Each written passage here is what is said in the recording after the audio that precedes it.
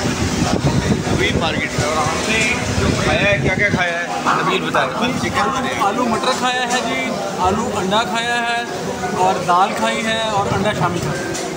और खाना कैसा था? बेहतरीन खाना मज़ा खाना अच्छा था। यहाँ का खाना भी शायद छोड़ है आखिर उसका पीस भी पसंद है। चिकन पीस यहाँ का चिकन पीस भी बहुत पसंद है लेकिन आज हमने आलू मटर आलू अंडा और ये शामी खाया।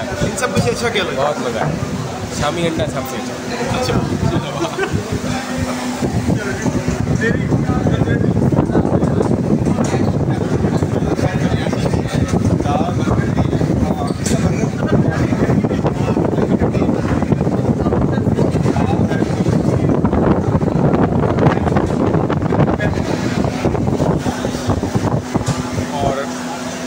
और thumbs up है जी